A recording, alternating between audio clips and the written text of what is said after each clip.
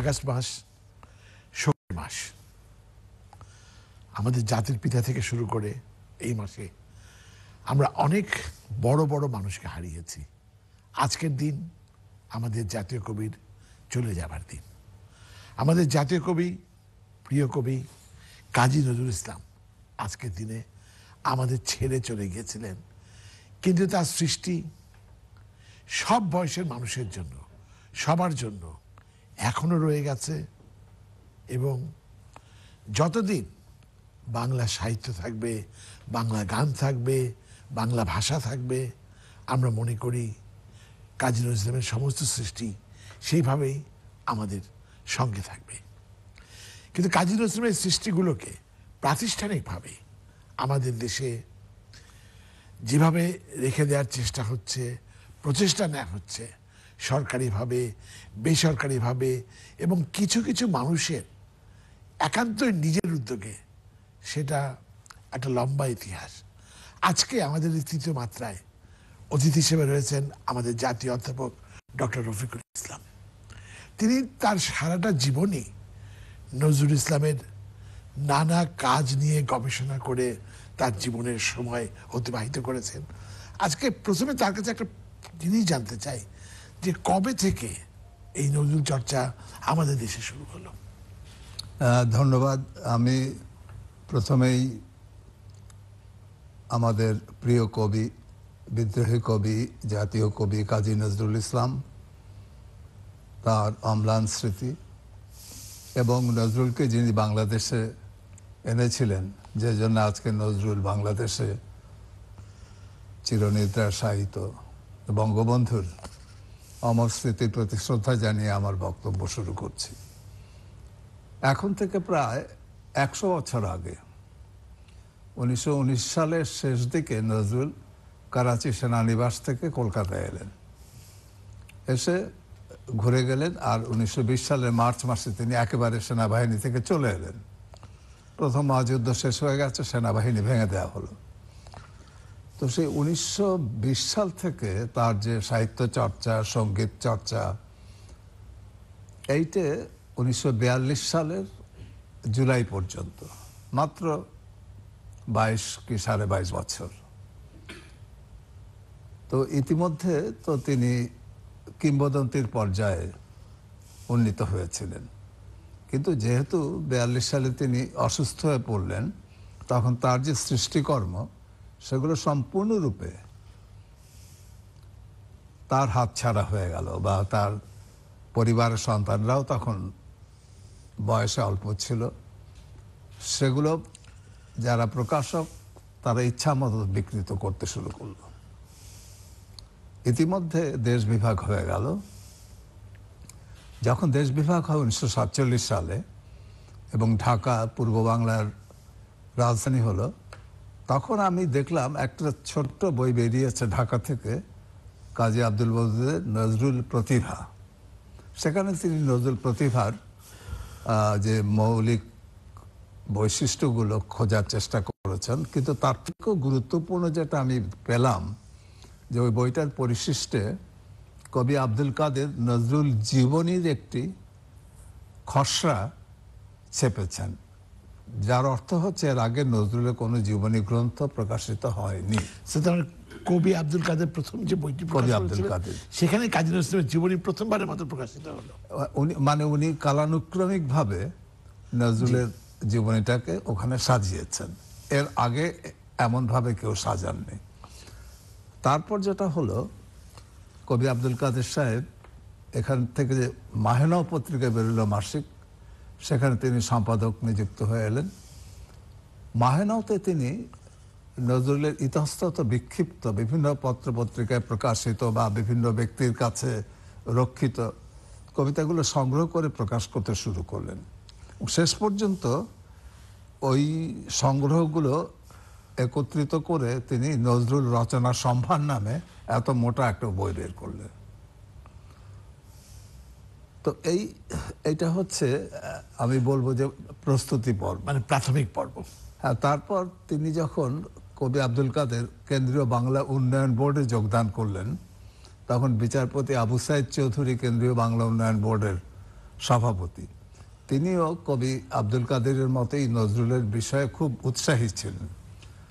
তো তার পৃষ্ঠপোষকতায় এবং ডক্টর এনামুল হক সাহেব ওটার পরিচালক ছিলেন। তার উৎসাহে কবি আব্দুল কাদের ওখান থেকে ধারাবাহিকভাবে নজরুল রচনাবলী প্রকাশ করতে শুরু করলেন এবং বাংলাদেশ হবার আগে পর্যন্ত তিনটি খণ্ড তিনি প্রকাশ করলেন আর বাংলাদেশ হয়ে যাওয়ার পরে যখন কেন্দ্রীয় বাংলা উন্নয়ন বোর্ড বাংলা একাডেমির সঙ্গে একীভূত হয়ে গেল, তখন চতুর্থ খণ্ডটি দুই ভলিউমে প্রকাশ পেল। এই প্রথম আমরা নজরুল রচনাবলী একত্রিত ভাবে পেলাম। তার আগে পর্যন্ত বিচ্ছিন্নভাবে বিভিন্ন স্যার এই প্রসঙ্গে বলতে চাই যে আমাদের এখানে আজকে ষাট দশকের উল্লেখযোগ্য কবি এবং বাংলা একাডেমির বর্তমান মহাপরিচালক যেন হাবিবুল্লাহ সিরাজিও রয়েছেন। আমার মনে হয় যে বাংলা একাডেমি কাজী নজরুল ইসলামকে নিয়ে কী করছে সেটাও আমরা স্যার যেখানে বললেন সেখান থেকে শুরু করতে ধন্যবাদ আপনাকে। আগস্ট মাস, আর এ মাসেই প্রয়াত হয়েছেন আমাদের জাতীয় কবি কাজী নজরুল ইসলাম। তার স্মৃতির প্রতি শ্রদ্ধা জানাই। শ্রদ্ধা জানাই জাতির পিতা বঙ্গবন্ধু শেখ মুজিবুর রহমানের প্রতি এবং পনেরোই আগস্টে যারা শহীদ হয়েছেন সবার প্রতি। স্যার শেষ করলেন কেন্দ্রীয় বাংলা উন্নয়ন বোর্ডের পাকিস্তান সময়ে তিন ভলিউম হয়েছিল রচনাবলী? উনসত্তর সালে সেটা হ্যাঁ, হ্যাঁ, তিন ভলিউম হয়েছিল। এরপরে বাংলা একাডেমি আর দুটো ভলিউম করল। এরপরে বড় কাজের ভেতরে নজরুল জন্ম শতবর্ষকে কেন্দ্র করে স্যারের উদ্যোগে শুধু নয় সম্পাদনায় এবং নজরুল জন্ম শতবর্ষে দশ খণ্ডে নজরুল রচনাবলী এখান থেকে প্রকাশিত হয়। আমরা এ পর্যন্ত ধরে নেই রচনাবলীর ক্ষেত্রে এটি প্রামাণ্য এবং এটি গ্রহণযোগ্য গ্রন্থ। পরবর্তীতে বাংলা একাডেমি একটি গ্রন্থ প্রণয়ন করে যেটা স্যার শুরুতে বলছিলেন নজরুলের কোনো প্রামাণ্য জীবনী ওইভাবে ছিল না তারিকোয়ারি সোন তারিকোয়ারি বাংলা একাডেমি একটি গ্রন্থ প্রকাশ করে দু হাজার দশ সালে নজরুল তারিক অভিধান। এই না এই নামে। এবং। হ্যাঁ? মাহবুল হক রচিত এই। এবং এটার ব্যাপারেও অধ্যাপক রফিকুল ইসলামের প্রেরণা শুধু নয় উৎসাহ শুধু নয় উদ্যোগও ছিল। তা আমি বিবেচনা করি যে এই গ্রন্থটি রচনার সময়ে যে তারিখওয়ারি যে বিষয়গুলো বিবেচনা করা হয়েছে তার পরিপ্রেক্ষিতে নতুনভাবে কিছু উপাত্ত, কিছু তথ্য আমাদের হাতে এসছে এবং এই গ্রন্থটির একটি পরিপূর্ণ সংস্করণ এবং সংশোধিত সংস্করণ হওয়া উচিত। দুর্ভাগ্যের বিষয় এটি, বর্তমানে মাহবুবুল হক রচিত নজরুল তারিক অভিধান বাংলা প্রকাশনার ক্ষেত্রে বাংলা একাডেমির হাতে নেই। এই বইটি প্রকাশনায় বাংলা একাডেমির বাইরে চলে গেছে। তবে আমরা চেষ্টা করব পরবর্তীতে আরও একটি প্রামাণ্য নজরুল তারিক অভিধান কিংবা এই ধরনের গ্রন্থ প্রকাশ করা, যাতে করে আমাদের পরবর্তী প্রজন্ম নজরুলের জন্ম সনের তারিখ নিয়ে একটি ভুল আছে। ওই দিন নিয়ে একটি ভুল আছে। স্যারের লেখা মতো নজরুলের জন্ম মঙ্গলবার। কিন্তু কেউ কেউ বলেন রবিবার আবার কেউ কেউ বলেন বুধবার। এবং কিন্তু অবশেষে এটি প্রমাণিত যে মঙ্গলবারই তার জন্ম তারিখ। ভোররাত্রে। হ্যাঁ, ভোররাত্রে এভাবে এইভাবে অনেক বিষয় যেমন নজরুলের সন্তান যে দুই সন্তান নিয়ে আমরা কথা বলি সব্যসাচী এবং অনিরুদ্ধ তাদের জন্মসন নিয়ে একটি বিভ্রান্ত আছে। একজনের উনিশশো উনত্রিশ একজনের উনিশশো একত্রিশ। এটা নিয়েও বিভ্রান্তি আছে। তো আমরা চাচ্ছি যে এই বিভ্রান্তিগুলো দূর করে এর একটি আরও আরও একটি সংশোধিত সংস্করণ বাংলা একাডেমি থেকে আমরা করব। আচ্ছা বাংলা একাডেমিতে কিন্তু আরেকটি খুব গুরুত্বপূর্ণ কাজ করেছিল। উনিশশো উনসত্তর সালে আমারই আমি ওটার প্রণেতা নজরুল নির্দেশিকা বলে একটি বিব্লিওগ্রাফি। প্রকাশ করেছিল যাতে নজরুলের সমস্ত রচনাবলীর বর্ণানুক্রমিক এবং কালানুক্রমিক সূচি ছিল যেটি এই দুই হাজার ষোলো সালে যার দ্বিতীয় সংস্করণ প্রকাশিত হয়েছে। এই যে বিব্লিওগ্রাফি প্রকাশ এটা কিন্তু আমাদের দেশে ঐতিহ্যই ছিল না। এটা বাংলা একাডেমি প্রথম করেছে এটা। স্যার এই যে জন্ম বিভ্রান্তি বললেন নজরুলের সুর নিয়েও কিন্তু বিশেষ করে এপার বাংলা ওপার বাংলায় প্রচুর প্রচুর প্রচুর বিভ্রান্তি- আছে। তবে তবে একটি জিনিস যেটা আপনার এই কথা সূত্রে একটি বলি আমাদের বর্তমান কর্মকাণ্ডের ভেতরে স্যার বাংলা একাডেমির একসময় মহাপরিচালক ছিলেন। তার উদ্যোগেই বিশেষ করে তার উদ্যোগেই বাংলা একাডেমিতে একটি নজরুল কক্ষ ছিল। স্যার যে পদে থাকুক স্যার সবসময় হ্যাঁ, নজরুলের জন্য কাজ করে নজরুল কক্ষ ছিল এবং নজরুল কক্ষটিতে এই কক্ষে নজরুল যখন ঢাকায় আসতেন কাজী মোতার হোসেন সাহেব এর বাড়ি বাড়িতে এবং ওই ওই কক্ষটিতে উনি গান বাজনা করতেন কিংবা আড্ডা দিতেন। এটি এটি নজরুল কক্ষ হিসেবে আমরা বিবেচনা করে গবেষণার কাজ এবং নজরুলের পুস্তকাদি, গানের রেকর্ড এগুলো ছিল এখানে। কিন্তু দুর্ভাগ্যক্রমে গত কয়েক বছরের আমাদের অব্যবস্থাপনা হোক, যে কোনো কারণেই হোক, কক্ষটি একটু দুরবস্থায় ছিল, অতি সম্প্রতি সেটিকে আমরা একটু একটু পরিমার্জন করেছি কক্ষটির এবং একটু রেনোভেট যাকে বলে করেছি এবং আগামীতে স্যারের সঙ্গে আমার কথা হয়েছে। আমরা নজরুল ইনস্টিটিউট আমার আমাদের নজরুলের সমস্ত রচনাবলী রেকর্ডস এর কপি দেবে এবং আমরাও বাংলা একাডেমি থেকে ডিজিটাল একভাবে ডিজিটালি নজরুলকে যাতে প্রেজেন্ট করা যায় যে কেউ আসলে পরে এখানে নজরুলের গান শোনার ব্যবস্থা থেকে শুরু করে নজরুল পাঠের ব্যবস্থা এবং সবচেয়ে বড় কথা নজরুল গবেষণার জন্য নতুন কিছু ব্যবস্থাপনা এবং উদ্যোগ আমরা গ্রহণ করব। মানে আপনি বাংলা একাডেমির মহাপরিচালক। আচ্ছা বাংলা একাডেমি কিন্তু কবি আব্দুল কাদের সাহেবের যে রচনাগুলি প্রকাশিত হয়েছিল তারপরে আবার অধ্যাপক আনিসুজ্জামান সাহেব সম্পাদনা পরিষদের প্রধান রূপে চার খণ্ড আবার প্রকাশ করেছিলেন। জি। ওইটা এটা বলা হয়নি কথাটা। জি।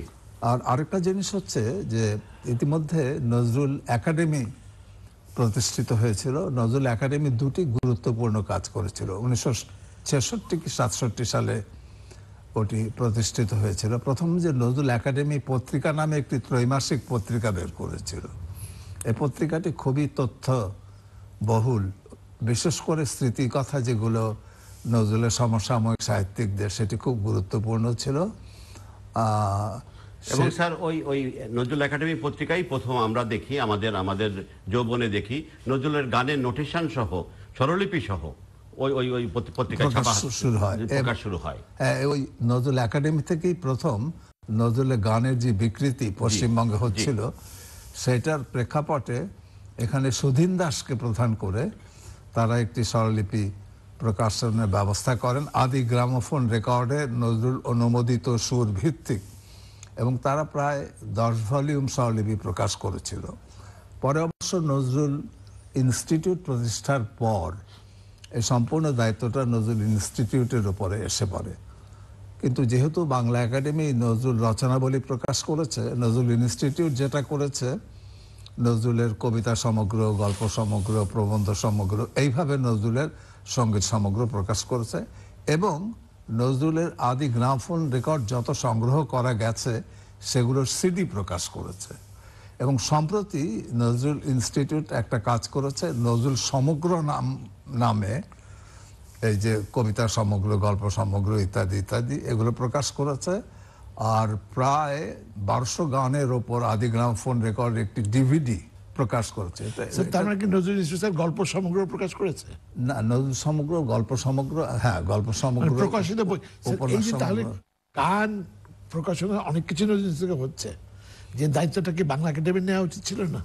না ব্যাপারটা হচ্ছে যে বাংলা একাডেমি তো আমাদের বাংলাদেশের শিল্প সাহিত্য সংস্কৃতির বিভিন্ন দিক নিয়ে তারা কাজ করেন জি। এবং নজরুলকে নিয়ে রচনাবলী প্রকাশ কিংবা নজরুলের হস্তলিপি প্রকাশ কিংবা নজরুল বিব্লিওগ্রাফি প্রকাশ এগুলো বাংলা একাডেমি করেছেন পরবর্তীকালে যখন নজরুল ইনস্টিটিউট কবিকে এখানে আনা হয়েছে নজরুল ইনস্টিটিউট যখন এখানে স্থাপন করা হলো তখন নজরুল সম্পর্কে যে সমস্ত কাজ, খুঁটিনাটি, বিভিন্ন রকম কাজ, সেই দায়িত্বটা নজরুল ইনস্টিটিউটের উপর এসে পড়ল এবং নজরুল সম্পর্কে বিভিন্ন বিশ্ববিদ্যালয়ে যে সমস্ত এমফিল বা পিএইচডি করানো হচ্ছিল, সেই থিসিসগুলো এখান থেকে ছাপা হতে শুরু করল।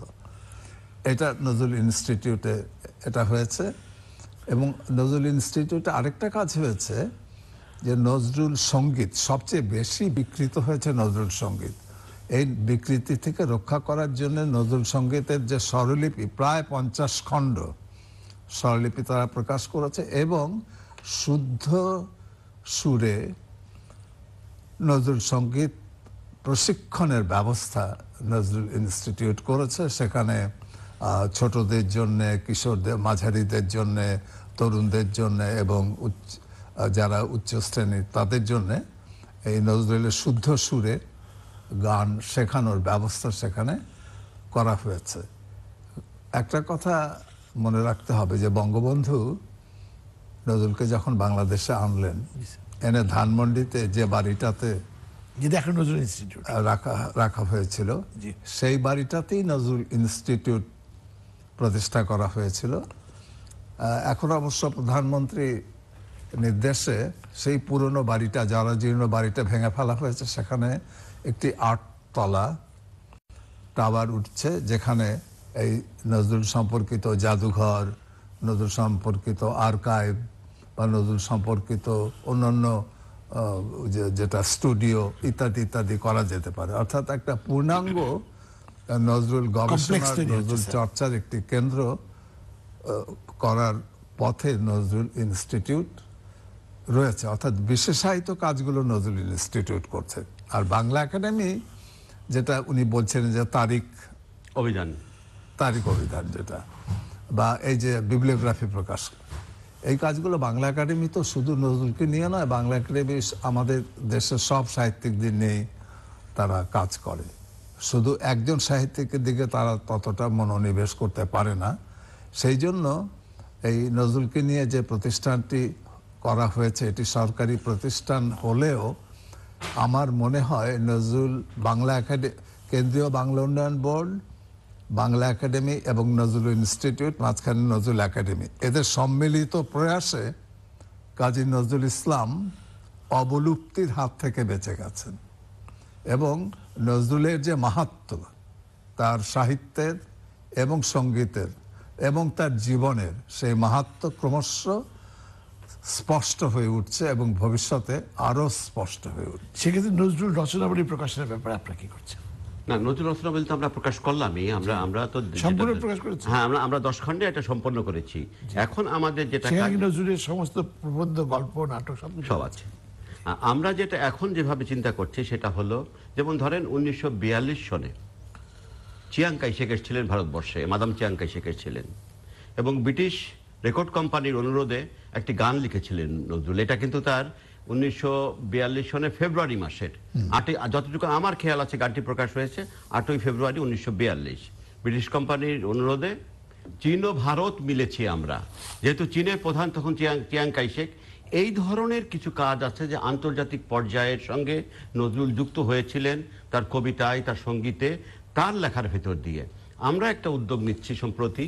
যে আমরা আন্তর্জাতিকভাবে নজরুলকে উপস্থাপনের জন্য স্যার বলছিলেন যে দেশের ভেতরে নজরুল চেয়ার কিংবা নজরুলের এমফিল হচ্ছে, পিএইচডি হচ্ছে। বিদেশেও স্যার জানেন, বিদেশেও কানেকটিকাতে নজরুল চেয়ার আছে। ক্যালিফোর্নিয়ায় কিছুদিন আগে আমি গেছিলাম, ওখানে একটি নজরুল চেয়ার হচ্ছে। আমরা চাচ্ছি আন্তর্জাতিকভাবে নজরুলের ব্যাপ্তিটি, বাংলা একাডেমি তার প্রসারতা, বইয়ের প্রসারতা, তার প্রকাশনার প্রসারতা বাইরে নিয়ে যেতে চায় বিভিন্ন ভাষায়। আমরাও চাচ্ছি নজরুলের রচনা বিভিন্ন ভাষায় বাংলা একাডেমি থেকে তার পরিকল্পনার ভিতরে অনুবাদ করে আমরা বিদেশে নিয়ে যাব। এবং বিদেশে নিয়ে যাওয়ার ক্ষেত্রে আমরা মৌলিক কিছু কাজ করতে চাই, আমাদের গবেষকদের ব্যবহার করতে চাই। তার ভেতরে প্রথম যে জিনিসটি সেটা হলো যে নজরুল আন্তর্জাতিকভাবে আমাদের জাতীয় কবি, তার একটি মানে মানে প্রামাণ্য একটি জীবনী, ইংরেজি ভাষায়, ফরাসি ভাষায়, জার্মান ভাষায়, আরবি ভাষায় হিস্পানি ভাষায়, এইভাবে ছয়টি ভাষায় আমি একটি পরিকল্পনা নিয়েছি, আমরা একটি পরিকল্পনা নিয়েছি, করব। আর নজরুলকে স্যার বলছিলেন যে, নজরুল ইনস্টিটিউট সার্বিকভাবে নজরুলের উপরে কাজ করছে। আমরা যে কাজগুলো করছি, দেশীয় পরিপ্রেক্ষিতের সঙ্গে সঙ্গে আন্তর্জাতিক পরিবেশ তাদের সঙ্গে যুক্ত হয়ে আন্তর্জাতিক পরিমণ্ডলকে নজরুলকে নিয়ে যাওয়ার জন্য। বাংলা একাডেমিতে একটি নজরুল মঞ্চ হিস- হিসেবে একটি মঞ্চ আছে, আমাদের স্মরণের জন্য। কিছুক্ষণ আগে আমি যেটা নজরুল কক্ষের কথা বললাম।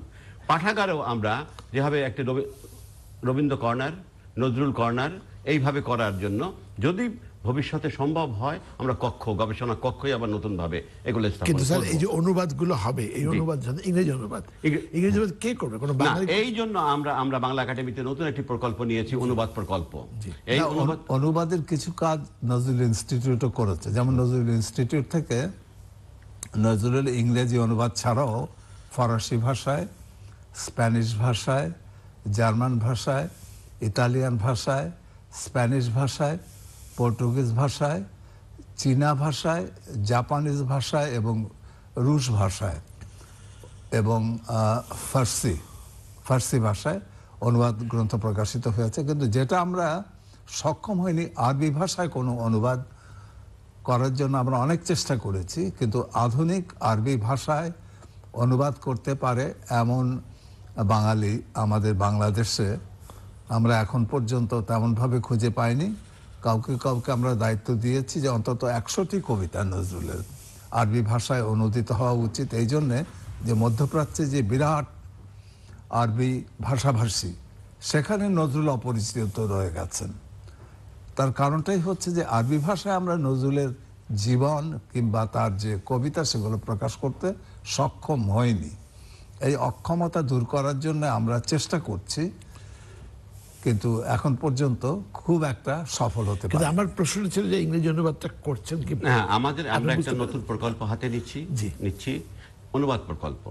আপনারা জানেন যে বাংলা একাডেমিতে নব্বইয়ের দশকে একটা তরুণ লেখক প্রকল্প ছিল যাতে তরুণদের সাহিত্য এবং এই ওই ওই দৃষ্টিকোণ থেকে আমরা ছটি ভাষায় অনুবাদ প্রকল্প একটি হাতে নিচ্ছি। এবং আমরা যারা যেমন ধরেন আরবি ছাড়া আরবির কথা বললেন আমাদের এখানে একটি ছেলে আছে, আরবি ভালো জানে এবং আরবি থেকে, মূল আরবি থেকে আমাদের জন্য কিছু অনুবাদ করেছে। শেখ হাসিনার উপরে লেখা একটি বই, আল আরিসির লেখা একটি বই, এখানে অনুদিত হয়েছে, বাংলা একাডেমি তা প্রকাশ করেছে। সেভাবে আমরা সেল করব, অনুবাদ সেল করব। আমাদের ছেলেরা তাতে অংশগ্রহণ করবে। কমিশন করে দেশের ভিতর থেকে এবং বাইরে থেকে আমি অনুবাদক, আমরা অনুবাদক নিয়োগ দেব। এবং আমরা চেষ্টা করব এক বছর কিংবা দেড় বছরের কোর্স করে তাদের এমন একটা জায়গায় নিয়ে যাওয়া যাতে তারা অনুবাদে সক্ষম হয় এবং প্রামাণ্য অনুবাদে সক্ষম হয়। এরপরে সেগুলোকে এডিটোরিয়াল বোর্ড কিংবা বলি সম্পাদনা পর্ষদ বলি কিংবা বিবেচক পর্ষদ বলি কিংবা নিরীক্ষক পর্ষদ বলি, তাদের মাধ্যমে সেই অনুবাদগুলোকে আর একটু মজবুত করব। এর পরে আমরা প্রকাশনায় যাব। এটি আমাদের একটি দীর্ঘ তিন বছর মেয়াদী পরিকল্পনা অনুবাদ প্রকল্প হিসেবে। আশা করছি যে এই প্রকল্পটি যদি আমরা করতে পারি আমাদের তরুণেরা আকৃষ্ট হবে তাদের যথাযোগ্য বৃত্তি দেওয়া হবে এবং তারা ফুল টাইম এখানে অনুবাদ শিক্ষা এবং কাজ করার ব্যাপারে ওয়ার্কশপ করে শুরু করবে। এটি আমাদের আশা করছি আগামী বছর থেকে আমরা এটা চালু করতে পারব। আর স্যার যে আরবির কথা যেটা বললেন মধ্যপ্রাচ্যে বিশেষ করে মিশরে এক আমার এক বন্ধু আছে ইব্রাহিম আল মিসরি তাকে আমি অনুরোধ করেছি আমাদের কিছু কবিতা অনুবাদের জন্য। এবং এটি আমার জন্য আনন্দের যে আমারও কিছু কবিতা তিনি আরবিতে অনুবাদ করেছেন এবং কায়রোর একটি বিখ্যাত আরবি পত্রিকায় সেই কবিতাগুলো ছাপা হয়েছে। আমরা রবীন্দ্রনাথ থেকে শুরু করে নজরুল এবং আমাদের পরম্পরায় আমরা দশজন কবিকে, কবির কবিতা আরবিতে অনুবাদ করার জন্য তাকে দিয়ে উনি উনি ভালো ইংরেজি জানেন, উনি দুবাইতে সাংবাদিকতা করেন, কিন্তু প্রকাশনা, ওনার সব কিছু কায়রোতে। এবং তার তার তার মাধ্যমে আমরা কিছু করার চেষ্টা করছি। তবে আমাদের আমাদের নিজস্ব সীমাবদ্ধতা আছে। নজরুল ইনস্টিটিউট আমাদের বাইরে এসে তাদের পরিকল্পনা মতো এই অনুবাদের কাজগুলো আরও ভালো করে স্পেসিফিক্যালি নজরুলকে নিয়ে করতে পারেন। এটা। না, এখন নজরুল ইনস্টিটিউট যেটা আপাতত মনোযোগ দিয়েছে, নজরুল সঙ্গীতকে রক্ষা করা। কারণ ধরুন, নজরুল কত হাজার গান লিখেছিলেন সঠিক হিসাব আমরা স্যার নজরুলের গানের সংখ্যা নাকি রবীন্দ্রনাথ জানি না তিন হাজার। স্যার রবীন্দ্রনাথের চেয়ে অনেক বেশি? কি চার হাজার আমরা জানি না। কিন্তু এর মধ্যে সাতাইশশো গান যে রেকর্ড হয়েছে সেই বিবরণ ব্রহ্মমোহন ঠাকুরের গ্রন্থে আছে যে গ্রন্থ আমরা প্রকাশ করেছি। যে কে রেকর্ড করেছে কে সুর করেছে রেকর্ড নাম্বার কি কি ইত্যাদি ইত্যাদি। আমরা এখন চেষ্টা করছি যে নজরুলের যতগুলো রেকর্ড প্রকাশিত হয়েছে পার্টিশন পর্যন্ত সবগুলো সংগ্রহ করে তার সেগুলোকে আপনার ইয়ে করা একত্র- একত্র করা এই এই কারণে যাতে নজরুলের যে কোনো গানের সুর বা বাণীটা কি ছিল যেটা নজরুল অনুমোদন করে দিয়ে গিয়েছিলেন সেটা যাতে শিল্পীরা খুঁজে এটা কি করছেন। স্যার আপনারা এই পর্যন্ত আমরা রেকর্ড সংগ্রহ করেছি দু হাজারের কাছাকাছি স্যার। কিন্তু সব পুরনো রেকর্ড নতুন করে রেকর্ড করার মতো অবস্থায় নেই আপাতত আমরা বারোশোর কিছু ওপরে ডিভিডি বের করেছি এবং আরও কিছু করবার চেষ্টা করছি এবং ভারতে আমাদের ডেপুটি হাই কমিশনারের মাধ্যমে আমরা ওখান থেকেও পুরাতন রেকর্ড, নজরুলের গানের রেকর্ড সংগ্রহ করার চেষ্টা করছি। কারণ নজরুলের গান নজরুলের কবিতা হচ্ছে তার অর্ধেক, গান হচ্ছে তার অর্ধেক। সেখানে কবিতা বা তার গল্প বা তার উপন্যাস বা প্রবন্ধ বা নাটক সমস্ত সংগ্রহ করা হয়েছে, প্রকাশ করা হয়েছে। যেটা আমরা পারিনি, গানের ক্ষেত্রে আমরা পারিনি। তার কারণ, নজরুলের গানের কেন্দ্র ছিল কলকাতায়। সেখানে তিনি গ্রামফোন রেকর্ডে, বেতারে, নাটকে, চলচ্চিত্রে গান করেছেন। পুরো পুরনো রেকর্ড আমরা যথাসম্ভব সংগ্রহ করেছি, আরও করবার চেষ্টা করছি এবং সব সংগ্রহ করতে পারলে সেই এবং আমাদের একটি স্বরলিপি বোর্ড আছে। তারা সেইটা থেকে সুর নিয়ে স্বরলিপি করে গ্রন্থ প্রকাশ করছে। এখন, সংগীত সংরক্ষণের উপায়ই হচ্ছে স্বরলিপি নোটেশন এটা তো অস্বীকার করবার কোনো উপায় নেই। এখন নোটেশন হয়তো নজরুল সংগীত শিল্পীরা নোটেশন চর্চা রবীন্দ্রসঙ্গীত শিল্পীদের মতো ততটা করেন না। যেমন রবীন্দ্রনাথের সমস্ত গান স্বরলিপিতে ধারণকৃত। কাজে যে যে গান খুশি সেখান থেকে নিয়ে এসে সুরটা উদ্ধার করতে পারে। নজরুলের ক্ষেত্রে আমরা সেই অবস্থাটা সৃষ্টি করতে চাই যে নজরুল যত গান লিখে গেছেন বা রেকর্ড করে গেছেন, তার নিজের সুরে হোক বা অন্যের সুরে হোক সেই সমস্ত কিন্তু যেগুলো তিনি নিজে অনুমোদন করেছেন রেকর্ড করার জন্য, সমস্ত রেকর্ড সংগ্রহ করে সেই রেকর্ডগুলো প্রকাশ করা যে অবস্থাতেই থাকুক এবং সেই রেকর্ড থেকে স্বরলিপি করে স্বরলিপি মাধ্যমে তার সুরটাকে সংরক্ষণ করা। এইটা এখন আমাদের সামনে সবচেয়ে বড় কাজ। এক- একটা হচ্ছে আরবিতে নজরুলের অনুবাদ, আরেকটা হচ্ছে নজরুল সঙ্গীতের সুর যথার্থ সুর রক্ষা সংগ্রহ করা প্রকাশ করা যাতে এই বিকৃতির হাত থেকে রক্ষা পায়। স্যার তো গান ভালোবাসেন। গান নিয়ে ব্যস্ত গানের কথাই বললেন। কবিতা নিয়ে আপনি কি করছেন? আপনি একজন কবি। না কবিতা কাজী না, না, প্রচুর কবিতা না না না কবিতা কবিতা নিয়ে যেটা নজরুলের কবিতার সংরক্ষণের ব্যাপারটি তো তার গ্রন্থেই রয়ে গেছে এই করারই। এখন পাঠ ও প্রসারের জন্য আমরা যথাসম্ভব চেষ্টা করি বিভিন্ন অনুষ্ঠানের মাধ্যমে নজরুলের কবিতাকে পাঠ এবং প্রসারের জন্য। কিন্তু এর বাইরেও আমরা যদি কোনো প্রকল্প করতে পারি এটা এখনও আমাদের সেভাবে মাথায় নেই যে নজরুলের কবিতা প্রসারের জন্য বিভিন্ন, বিভিন্নভাবে আবৃত্তির ব্যাপারটিকে নিয়ে আসা। শুদ্ধ পাঠের ব্যাপারে স্যার যে দশ ভলিউম করে গেছেন এটাকে আমরা ধরে নিয়েছি এখন পর্যন্ত আমাদের কাছে শুদ্ধ একটি একটি পাঠ। অতএব এটা নিয়ে আমাদের কোনো সংশয় নেই। যে সংশয়টি সঙ্গীতের ব্যাপারে হচ্ছে নোটিশন নিয়ে হচ্ছে এটা ইসে নেই। এর বাইরেও যদি কোনো লেখা থাকে নজরুলের থাকবে না এমন কোনো কিন্তু ই নেই। তো সে ব্যাপারে আমরা কিছু গবেষণার কাজ করতে পারি ভবিষ্যতে। কিন্তু নজরুলের ধরেন আমরা একটা কবিতা নিয়ে মহাশ্মশান না গোরস্থান এখনও কিন্তু প্রশ্ন না না এখনও প্রশ্ন আছে কিন্তু আমরা একটা শুদ্ধ পাঠ আমরা আমরা সেটাকে আমরা আমাদের গ্রন্থে মানে সেই দায়িত্বটা কে নিচ্ছে? হ্যাঁ? যেমন নজরুল ইনস্টিটিউট একটা দায়িত্ব নজরুল- বাংলা একাডেমি না না বাংলা একাডেমি দায়িত্ব বাংলা একাডেমি যখন প্রকাশ করেছে ছাড়ও তার সঙ্গে যুক্ত ছিলেন এবং সেই তা তাদের তাদের সমস্ত দায়িত্ব নিয়েই তারা এই রচনাবলীগুলো প্রকাশ করেছেন। এবং আমরা ধরে নেই এই দশ খণ্ড প্রামাণ্য নজরুলকে পা- পাওয়ার জন্য এনাফ আমাদের আমাদের জন্য এনাফ মানে এই দশ খণ্ড কিন্তু আমরা আমাদের দেশের যে কয়জন নজরুল বিশেষজ্ঞ সবাই মিলে বাংলা একাডেমিতে ওই নজরুল কক্ষে বসে মাসের পর মাস ধরে কাজ করে এই দশ খণ্ড আমরা তৈরি করেছিলাম পাণ্ডুলিপি। এখন এখন একটি প্রশ্ন আমাদের কাছে নতুনভাবে উত্থাপিত হয়েছে, নজরুল জীবনী। আমরা এখন পর্যন্ত আমাদের দেশে অধ্যাপক রফিকুল ইসলামের জীবনীটিকে ধরে নেই, নজরুল জীবনী আমাদের কাছে গ্রহণীয় হয়নি। গোলাম মশির সাহেব একটা জীবনী লিখেছেন, অরুণ কুমার বসুর জীবনী আছে, নানা বিভ্রান্তি আমাদের ভেতরে আছে। এবং নজরুল জীবনের অনেক তথ্য নিয়ে যেটা বললাম সোন তারিখ নিয়েই আছে। যদি সম্ভব হয় আমরা একটা নজরুল জীবনী এক খণ্ডে হোক দুই খণ্ডে হোক তিন খণ্ডে হোক যেভাবে আমরা রবীন্দ্র জীবন আবার নতুনভাবে বাংলা একাডেমি থেকে করেছি আমরা বাংলা একাডেমি থেকে নজরুল জীবনী করার আমাদের একটা পরিকল্পনা আছে। মানে হ্যাঁ? একজন কবি হিসেবে হ্যাঁ। কাজী নজরুল ইসলামের কবিতার মধ্যে আপনি কি বৈচিত্র্য খুঁজে পান?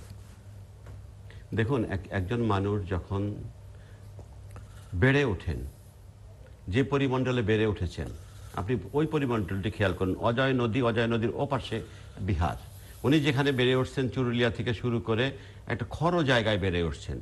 পরিবেশগতভাবে তিনি যে যে পরিবারের ভেতরে বেড়ে উঠছেন, একটি নিম্ন মধ্যবিত্ত মুসলিম পরিবার, রক্ষণশীল মুসলিম পরিবার, বাবা মারা গেছে, বালক বালক বয়সে, চাচার কাছে, কাছ, কাছে তিনি কিছু পাঠ শিখেছেন, আরবি ফার্সি শিখেছেন, মক্তবে পাঠ দিয়েছেন, নিজে, নিজের লেখাপড়া করেছেন। তারপরে জীবনটা একদম চরকির মতো ঘুরেছে। লেটর দলে গান করা থেকে শুরু করে শুধু সেই চুরুলিয়া থেকে বাংলাদেশের ময়মনসিংহের ত্রিশালপন্থ এসছেন। তার সতেরো বছর, আঠারো বছর পর্যন্ত যদি আপনি পরিভ্রমণ দেখেন, তার বেড়ে ওঠার পরিভ্রমণ দেখেন, তার ভেতরে কি জিনিসটি ইন্সপায়ার করতেছে, আমি সাহিত্যিক হব, কবি হব, লেখালেখি করব। এবং লেখালেখির উপাত্তটা কীভাবে আসলো?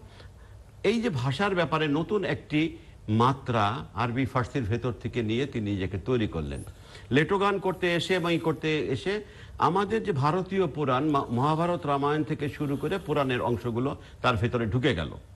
উনি বন্ধু হিসেবে শৈলজরঞ্জনকে পেলেন। পরবর্তীতে তিনি তিনি শিয়ারশোল থেকে সরাসরি পল্টনে গেলেন।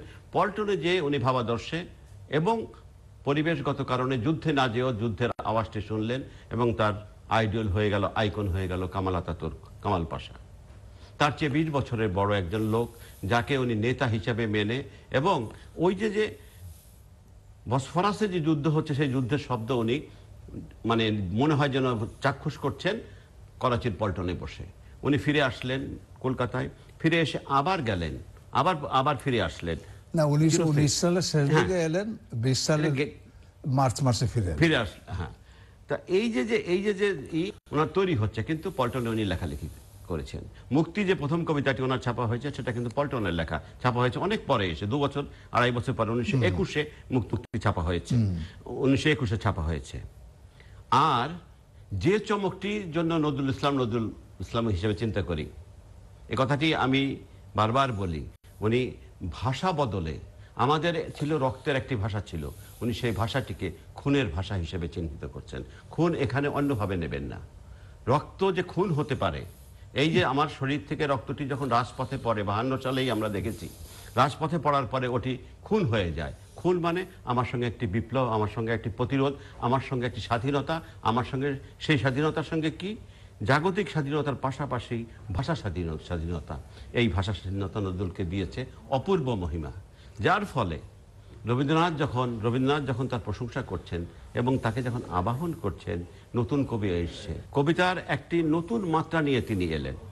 তিনি তো একজন সত্যেন্দ্রনাথ দত্ত হতে পারতেন তিনি তো একজন বিহারীলাল হতে পারতেন তিনি তো একজন প্রমথ চৌধুরী হতে পারতেন না হয়ে কিন্তু তিনি কাজী নজরুল ইসলাম না এখানে একটা কথা বলা যে উনিশশো একুশ সালে টিএস এলিয়টের ওয়েস্টল্যান্ড যেমন ইংরেজি কবিতাকে সম্পূর্ণরূপে পাল্টে দিল। তেমনি উনিশশো একুশ সালে বিদ্রোহী- নজরুলের বিদ্রোহী বিদ্রোহী একদম। বাংলা বিদ্রোহী- কবিতাকে সম্পূর্ণরূপে পাল্টে দিল। এই একই এবং বিদ্রোহী কবিতা আজকে একশো বছর পরও কিন্তু আমরা সেভাবে নতুন ভাবে হ্যাঁ, করছি। হ্যাঁ উনিশশো একুশ উপলব্ধি করছি। না না, উপলব্ধি করছি। আমাদের যে সর্বজনীনতা ছিল আমাদের ভাষা ব্যবহারে তার ভিতরে আমি শব্দটি আমি শব্দটি এভাবে উচ্চারিত হলো বিদ্রোহীতে যে বাংলা কবিতার ধারাকে একটি নতুন ব্যঞ্জনা শুধু দিল না একটা একটা তৃতীয় মাত্রা দিল। আমাদের এখন একশো বছর পরে এসে আমাদের ভাবনার ভিতরে নজরুল পাঠ, বিশেষ করে নজরুলের কবিতা পাঠ, কীভাবে আমাদের তরুণেরা নেবে? এই এই এই নেওয়ার নেওয়ার বিষয়টি আমাদের বিশ্ববিদ্যালয়গুলো, এগ- এগুলো তাদের মানে কাজ করতে হবে, আমাদের স্কুলগুলোয় কাজ করতে হবে, আমাদের কলেজগুলোয় কাজ করতে হবে। কি কাজ? নজরুল পাঠের ভেতর দিয়ে চেতনার অংশটুকু, আধুনিক চেতনার অংশটুকু, ভাষা চেতনার অংশটুকু এবং সর্বোপরি স্বদেশ প্রেমের অংশটুকুকে নতুনভাবে উদ্ভাসিত করতে হবে। রাষ্ট্রে যে যেভাবে কর্তব্য আছে পারিবারিকভাবে আমাদের কর্তব্য আছে। একজন নজরুল আমাদের জাতীয় কেন জাতীয় কবি? আমার দায়িত্ব আছে, আমার সন্তানকে এটা বলার বলার। রাষ্ট্রের পাশাপাশি আমরা যদি নিজের ঘর থেকে এই কথাগুলো উচ্চারণ করি। আপনি একটি একটি জিনিস দেখুন তো, শিশু পাঠে। তোমার ছেলে জাগলে গোমা তখন সকাল হবে। কি কথা? তোমার সন্তান যদি জাগে ভোরবেলা, তখনই কেবল সকাল হবে। তার মানে তার সঙ্গে সূর্যের সম্পর্কটা শুধু না। তার বড় হওয়ার হওয়া উন্মেষের সম্পর্কটা। কত বড় কত বড় কথা। স্যার এই যে এত সময় আপনি নজরুলকে নিয়ে পার করছেন আপনার কি কখনো মনে হয় যে আমরা এখন শুধু নজরুল ইসলামের জন্মদিন কিংবা মৃত্যুদিনেই নজরুল চর্চা সীমাবদ্ধ করে ফেলেছি? দেখেন আপনার এই প্রশ্ন মানে আমাদের নিয়ে প্রশ্ন করছি আপনাকে। প্রশ্ন উত্তরটা কীভাবে দেব? আহ, ফিডেল কাস্ট্রো বঙ্গবন্ধুর সম্পর্কে বলেছিলেন যে আমি হিমালয় পর্বত দেখিনি কিন্তু আমি বঙ্গবন্ধুকে শেখ মুজিবকে দেখেছি। বলবীর চির উন্নত মম শির শির নেহারি আমারই নত শির ওই মানে কীভাবে মিলে গেছে কথাগুলো? নজরুলের সেই কবিতার দুটি চরণ আর ফিডেল কাস্ট্রো তিনি তো স্প্যানিশ ভাষী কিউবান। কীভাবে মিলে গেছে? এই যে বঙ্গবন্ধুকে হিমালয়ের সঙ্গে তুলনা করা এটা তো এখন আমার মনে হয় যে নজরুল বোধহয় ভবিষ্যতে যে বঙ্গবন্ধুর মতো একজন আসবেন। বাঙালির বাংলা বলে নজরুল উনিশশো একচল্লিশ সালে একটি প্রবন্ধ লিখেছিলেন। তাতে তিনি লিখেছিলেন যে এই দেশ থেকে দিয়ে প্রহারেন ধনঞ্জয়, তাড়াতে হবে রামাদের, অর্থাৎ মারোয়ারিদের, আর গামাদের, অর্থাৎ পাঞ্জাবিদের। আর সেইটা প্রবন্ধ তিনি শেষ করেছিলেন বাংলা বাঙালির হোক বাংলার জয় হোক বাঙালির জয় হোক। আমাদের জয় বাংলা স্লোগানটা কোথেকে ওখান থেকে এসছে। নজরুল থেকে এসছে। এবং ওর যে পূর্ণদাস বিপ্লবী জি। তাকে নিয়ে যে কবিতা সেখানে তো জয় বাংলা শব্দটাই তিনি ব্যবহার করেছেন। তো কবিরা যে ভবিষ্যৎ দ্রষ্টা এই নজরুলের ওই দুটি চরণ আর এই জয় বাংলা, বাঙালির জয়, বাংলার জয়, এটা দেখে তাই মনে হয় যে কবিরা সত্যি সত্যি ভবিষ্যৎ দ্রষ্টা। স্যার, এখানে কি যদি আমরা একটু আরও যুক্ত করি যে উনিশশো বাহাত্তর সনে বঙ্গবন্ধু শেখ মুজিবুর রহমান নজরুলকে যখন নিয়ে আসলেন এবং জাতীয় কবি করলেন, এটা তো আমাদের কাছে একটা অবাক ব্যাপার যে নজরুল কখনো বাংলাদেশে আসবেন, জাতীয় কবি হবেন এবং তার সমাধি বাংলাদেশে হবে। এ ব্যাপারে স্যার, আপনারা আপনারা যে উদ্যোগী ভূমিকা নিয়েছেন বিশেষ করে আপনি তার সমাধির ব্যাপারে তার পুত্রদের সঙ্গে যে যে সমস্ত কলা কৌশলে স্যার এখানে তার সমাধি হয়েছে এটা তো আমাদের জন্য ছিল সবচেয়ে বড় পাওয়া।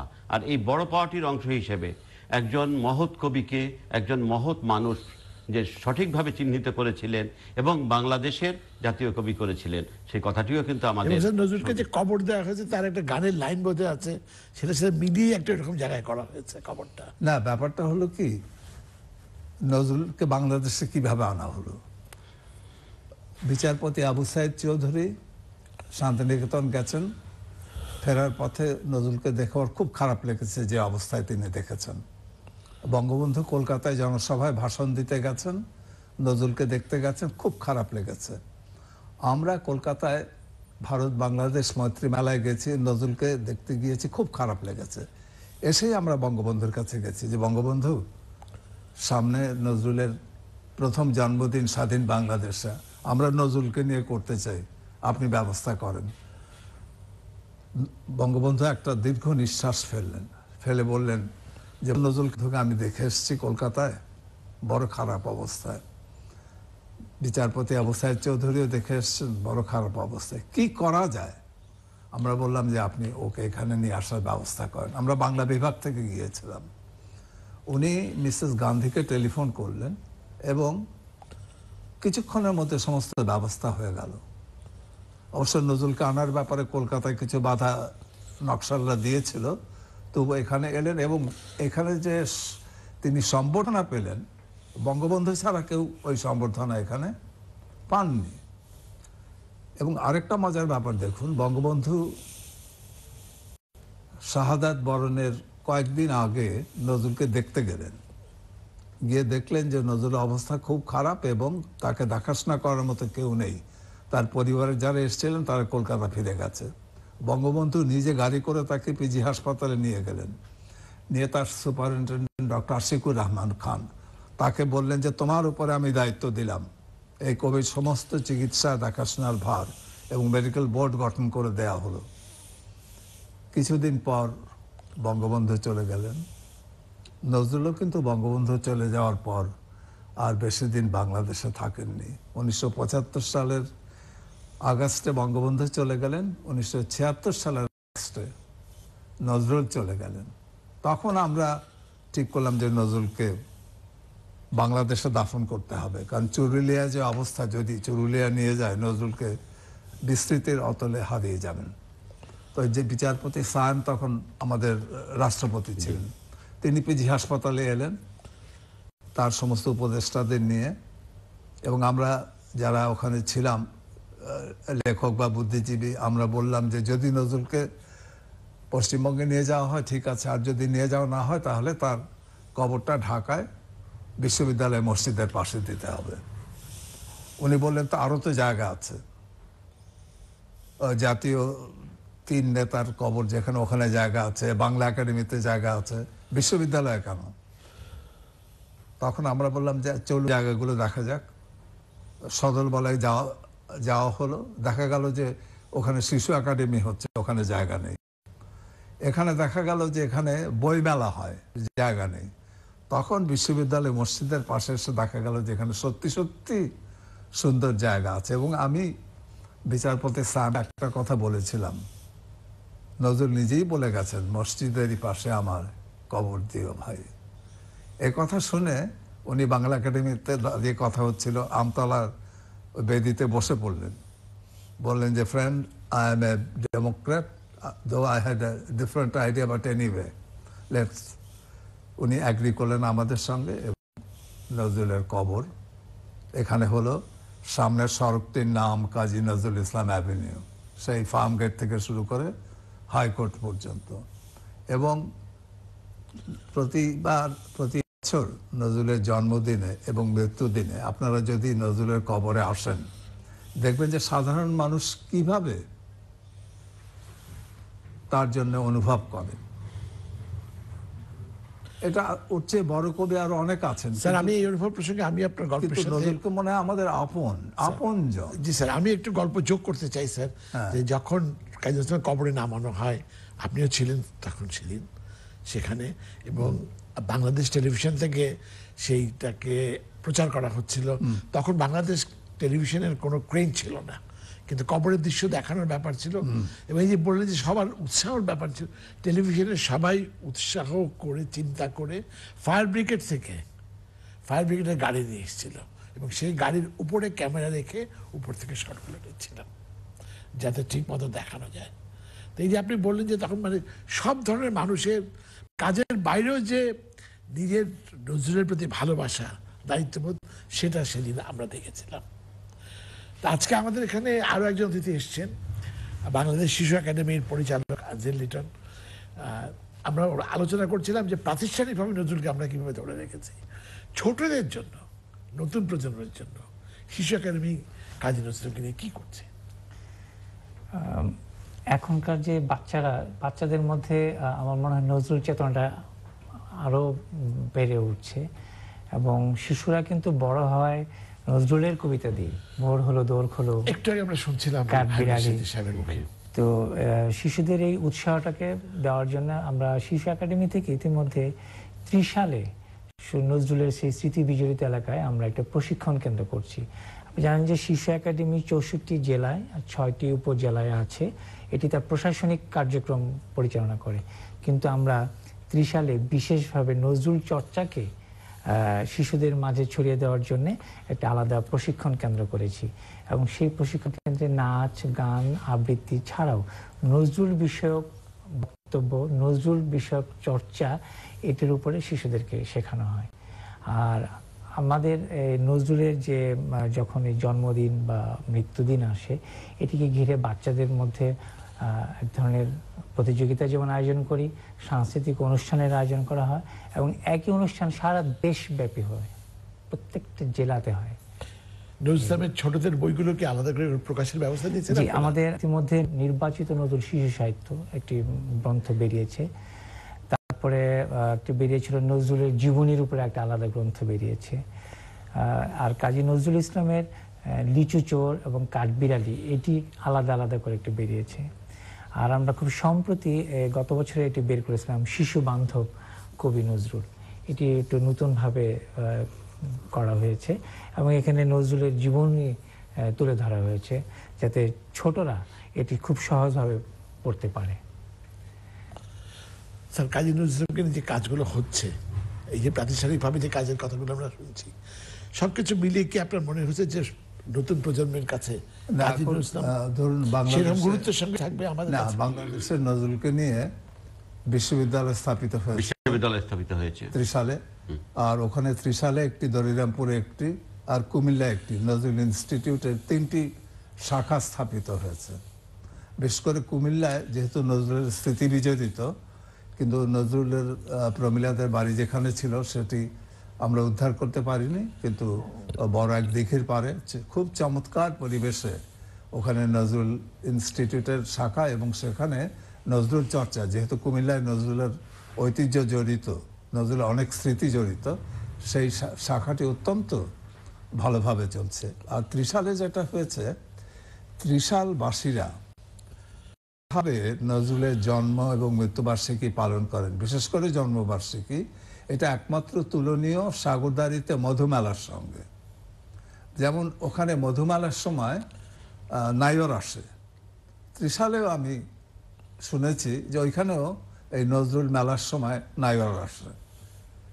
এমন তারা এমন আপন মনে করেন নজরুলকে ত্রিশালবাসী। সেই জন্য ত্রিশালবাসীকে আমি ধন্যবাদ এবং অভিনন্দন জানাই। যে তারা নজরুল স্মৃতিকে এমনভাবে জাগ্রত করে রেখেছেন। স্যার আমার এখানে একটি একটি জিজ্ঞাসা আছে যে নজরুল এক বছরের মতো সময় তিসালে ছিলেন মাত্র, মাত্র। হ্যাঁ, কিন্তু নজরুল জীবনের একটি বড় অধ্যায় কুমিল্লায়। এখানে প্রণয়ের অংশ আছে এখানে আন্দোলন এখানে তিনি রাজপথে গান করেছেন। স্যার আপনি আপনি জানেন স্যার যে ব্রিটিশ ব্রিটিশ বিরোধী আন্দোলনের সময় তিনি রাজপথে গান করেছেন। এখানে তার প্রণয়ের দুটো অংশ রয়ে গেছে গণসঙ্গীত রচনা শুরুই কুমিল্লা কুমিল্লা থেকে কুমিল্লা থেকে। অতএব স্যার এইখানে এই বিষয়টিকে যদি আমরা তার প্রণয় এবং তার এই বিপ্লব কিংবা এই আন্দোলনের অংশটুকু দেখে নতুন চিন্তা ভাবনার ভিতরে কুমিল্লাকে নেই।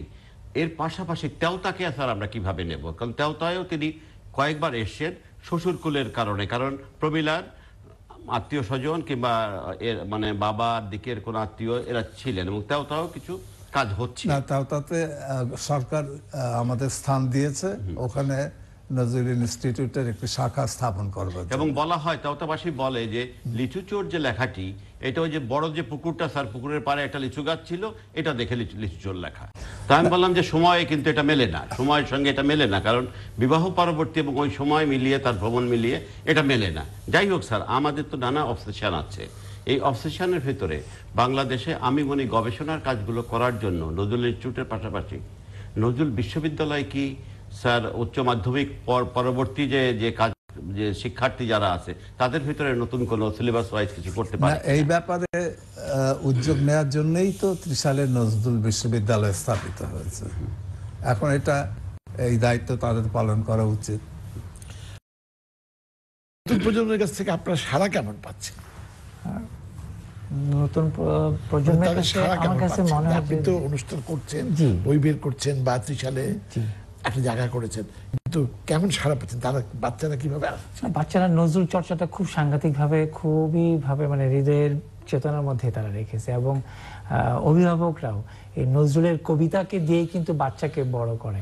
নজরুলের কবিতার চর্চার মধ্য দিয়েই বাচ্চাকে বড় করার এবং বাংলাদেশকে চেনানোর যে আমাদের যে ইতিহাস, যে পথ, যাই বলি, নজরুল তার সাথে মিশে আছে। আমার যেটা মনে হয় নজরুলের গানগুলো যেভাবে ছড়িয়ে আছে এবং নজরুলের গান আমরা বড়রাই মূলত শুনে, ছোটদের জন্য নজরুলকে আরও কাছাকাছি নেওয়ার জন্য নজরুলের ছড়াগুলোকে আমরা গান করতে পারি। আমরা শিশু একাডেমি থেকে এরকম একটি আমাদের মানে অলরেডি পরিকল্পনা নেওয়া হয়েছে, নজরুলের গান। এবং সেটি শুধু নজরুলের শিশুতোষ গান না, নজরুলের ছড়াগুলোকেও যদি আমরা গানে নিতে পারি, আমার মনে হয় বাচ্চার আগামী প্রজন্ম আরও বেশি উপকৃত হবে। যেন হাইবুল্লাহ সিরাজি। কাজী ইসলামের বৈচিত্র্যময় জীবন নিয়ে কিছু বলবেন? এ তো এ তো বলা কি, এটা তো বলা কর বাইরে। একজন বহিমিয়ান মানুষ কীভাবে স্বরের সঙ্গে, বাণীর সঙ্গে যৌথভাবে এক জীবনে বিহার করে গেছে এবং তার সেবায় মাত্র বিশ বাইশ বছর। এবং তার ভিতর আমি বললাম না যে আন্তর্জাতিক পর্যায় থেকে শুরু করে দৈশিক পর্যায়ে তার যে চেতনা এবং তার যে রচনা সম্ভারের যে বৈচিত্র্য তা আমাদের মোহিত করে। আপনি উনিশশো থেকে চল্লিশ পর্যন্ত দেখেন, তার গান লেখার কিন্তু এটি একটি সবচেয়ে বড় সময় এই দশ বছর। তার ভিতরে প্রথম দিকে ইসলামী গান লিখলেন, পরবর্তীতে পঁয়ত্রিশের পর থেকে, দু একটা শ্যামা সংগীত আছে এখানে। পঁয়ত্রিশের পর থেকে তিনি ধারাবাহিকভাবে রামমোহন কোম্পানির চাহিদার জন্য তিনি শ্যামা সংগীত লিখেছেন, নানা রকমের ই করেছেন। আধ্যাত্মিকতার দিকে তিনি ঝুঁকেছিলেন তখন, নানা কারণে পুত্রের মৃত্যু নানা কারণে ঝুঁকেছিলেন। আর এই যে গানের বৈচিত্র্য নজরুলের নিজের ইচ্ছার বাইরেও গ্রামোফোন কোম্পানির চাহিদার কারণে, যেমন যে গানটির কথা আপনাকে বললাম, চীন ভারত মিলেছে এবার। এটা তো এটা তো চিয়াঙ্কাই শেখের জন্য এই গানটি লেখা। তো এই যে যে ফরমাইশ দেওয়ার পরে যে গানটি হয়, কিন্তু সেই গানটি প্রাণের গান হয়ে যায়। এটি এটি একজন বড় কবি, বড় লেখকের মানে কাজ। এটা এটা সাধারণভাবে এটা করা কোনো মতেই সম্ভব না। আর যে জিনিসটি আমরা আলোচনার বাইরে প্রায় রাখতেই চাই তার গদ্যকে নিয়ে তার গদ্য সাহিত্য নিয়ে। এইটি নতুনভাবে বাংলাদেশে আলোচনায় আসা উচিত। এবং আমাদের যারা গবেষণা কর্ম করেন, তারা ওই বিদ্রোহী কবিতাকে কেন্দ্র করে কিংবা সাতিল আরবকে কেন্দ্র করে একটি বৃত্ত রচনা করেছেন। কিন্তু তার ছোট গল্প, বিশেষ করে মৃত্যু খোদা নিয়ে নতুনভাবে কাজ হওয়া বাংলাদেশে দরকার। এবং এই এই কাজটি হলে পরে তার গদ্য রচনার ভঙ্গি, তখনকার সমাজ ব্যবস্থা, কীভাবে পাদ্রীরা, খ্রিস্টানরা এখানে ধর্মকে তারা বদল করে দিচ্ছে কি সামান্য অর্থের বিনিময়ে। ক্ষুধা যে ক্ষুধা যে মানুষকে কীভাবে ধর্ম ধর্মান্তরিত করে শুধু তাই নয় যে পর্যায়ে নিয়ে যায় তার তার বিষয়টি। নজরুল পাঠ হোক কবিতা পাঠের পাশাপাশি আমার আবেদন আমাদের সন্তানদের নজরুলের গদ্য পাঠ এবং নজরুলের প্রবন্ধগুলো যেন আমরা পাঠ করি। নজরুলের প্রবন্ধ পাঠ করলে আমাদের ভেতরে তারুণ্যের যে চেতনাটা নতুনভাবে উদ্ভাসিত হবে। বিশেষ করে বর্তমান বিশ্ব সাহিত্য। জি স্যার। এই প্রবন্ধটি। জি। স্যার দীর্ঘ সময় তো কাজী নজরুল ইসলাম আপনার সাথেই আছে। কখনো কি মনে হয় যে এখনও অনেক কিছু জানা বাকি রয়ে গেছে কাজী নজরুল ইসলামকে নিয়ে? এটা একটা বিষয় কি যে আমাদের এই দেশে কাজ করাটা একটু কঠিন। সে যে কোনো বিষয় হোক। তার কারণটা হচ্ছে এই যে ধরুন এতগুলো বিশ্ববিদ্যালয়, এবং প্রত্যেকটি বিশ্ববিদ্যালয়ে বাংলা বিভাগ আছে। এর মধ্যে চারটি বিশ্ববিদ্যালয়ে নজরুল গবেষণা কেন্দ্র রয়েছে। কিন্তু আপনি যদি খবর নেন যে এইসব বিশ্ববিদ্যালয়ে নজরুলকে নিয়ে কী কী কাজ হয়েছে, তাহলে আপনাকে হতাশ হতে হবে। কারণ বিশ্ববিদ্যালয়গুলোতেই যদি তারা নজরুলের যে বিভিন্ন দিক তার জীবনের তার সাহিত্যের তার সঙ্গীতের এইসব বিষয় নিয়ে আমাদের তরুণ ছাত্রছাত্রীদের যদি কাজ না করান ইনস্টিটিউট বা একাডেমির পক্ষে তো এই গবেষণা কর্ম করানো সম্ভবপর নয়। এবং নতুন প্রজন্ম তো নতুন দৃষ্টিভঙ্গিতে নজরুলকে দেখবে। দেখবে নতুন করে আবিষ্কার করবে। সেটা তো আমাদের দেশে তেমন সন্তোষজনকভাবে হচ্ছে বলে মনে হয় না। এটা হচ্ছে আমাদের জন্য দুর্ভাগ্য। এই প্রতিবন্ধকতা আমাদের কাটিয়ে উঠতে হবে। দুই নম্বর হচ্ছে, এই যে আমাদের দেশে এতগুলো প্রচার মাধ্যম, চ্যানেল আই আমি লক্ষ্য করেছি নজরুলের মৃত্যু দিবসের সাত দিন আগে থেকে সকালবেলা নজরুল সংগীত প্রচার করছে। অন্য কয়টি চ্যানেল করছে? তারা কেন কেন তারা করবে না? শুধু চ্যানেল আই আর বিটিভি করবে শুধু? এতগুলো চ্যানেল আছে। আর আমাদের শিল্পীরা কি করছে? কয়েকটি জনপ্রিয় গান ঘুরিয়ে ফিরিয়ে তারা গাইছে। ওই যে কষ্ট করে নজরুল ইনস্টিটিউট থেকে সিডি সংগ্রহ করে বা স্বরলিপি থেকে গান তুলে নতুন নতুন গান পরিবেশন করবে, সেটা তো তারা করছে না। হাতে গোনা কয়েকটি গান তারা গাইছে। তো এই ক্ষেত্রে তারা বিটিভি বা চ্যানেল আই তাদেরকে তাদের অনুসরণ করা উচিত। নইলে নজরুলের যে বিষয়টি আমরা সম্পূর্ণরূপে কাভার করতে পারিনি, সেটা হচ্ছে নজরুল সংগীত। এবং সেই ক্ষেত্রে প্রচার মাধ্যমগুলোর একটা গুরু দায়িত্ব রয়েছে যে তোমরা নতুন নতুন গান করো। নইলে তোমাদের সুযোগ দেওয়া হবে না। তখন তারা বাধ্য হবে নতুন গান তুলতে নতুন গান মানে অন্য গান তুলতে। ওই কেবল শাওন আসিল ফিরে এসে ফিরে এলো না এরকম কয়েকটি গানের মধ্যে সীমাবদ্ধ থাকলে চলবে স্যার স্যার এখানে যেটা স্যার আপনি বললেন আমাদের জাতীয়তার বিকাশের ক্ষেত্রে বাঙালি চেতনায় বাঙালি জাতীয়তাবাদ বিকাশের ক্ষেত্রে স্যার যে বড় ভূমিকাটা নজরুল পালন করেছেন সে বিষয়ে কি স্যার নতুনভাবে আমাদের গবেষণা দরকার আছে না? অবশ্যই আছে। গবেষণার দরকার আছে স্যার যেটা বললেন শিল্পীদের নতুন গানের দরকার আছে আঞ্জেল লিটন যেটা বলল যে নতুন প্রজন্মের নজরুলকে নিয়ে আরও আগ্রহী করে তোলার আমাদের প্রচেষ্টা নিতে হবে। কিন্তু সবার উপরে যারা আপনারা এই অনুষ্ঠান দেখছেন তারাই কিন্তু কাজী নজরুল ইসলামের শ্রোতা পাঠক নাটকের দর্শক স্যার চ্যানেল আই বলুক, কিংবা বাংলাদেশ টেলিভিশনের কথা বলুক সব কিছু মিলিয়ে আপনারা, আপনাদের হৃদয় যদি নজরুলকে ধারণ করেন, আপনারা যদি পরবর্তী প্রজন্মকে বলার চেষ্টা করেন, কাজী নজরুল ইসলাম আমাদেরই একজন, আমাদের জাতীয় কবি, আমাদের প্রিয় কবি, আমাদের প্রিয় মানুষ, এবং তার সৃষ্টিগুলো নিয়ে আমরা আমাদের জীবনকে আরও সুন্দর করে তুলতে পারি। তাহলেই আমার মনে হয় যে আমাদের জাতীয় অধ্যাপক যে স্বপ্ন দেখছেন আঞ্জি লিটন যে স্বপ্ন দেখছেন, হাবিবুল্লাহ সিরাজি যে কথা বলছেন, সেই সবগুলো কথার সত্যতা প্রকাশ পাবে।